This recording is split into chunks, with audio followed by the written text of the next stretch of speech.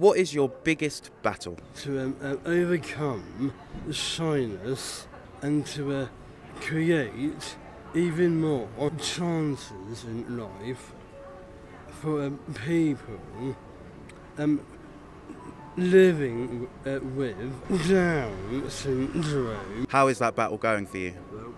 I think it's um, going uh, really well. I want you to act as if you're talking to the people you want to inspire and give them your words of encouragement. But if um, you really do want to be um, anything or um, anyone in their life, then I reckon you should really spread your um, uh, wings, really start believing in yourself, and hopefully you'll be where um, um, um, I am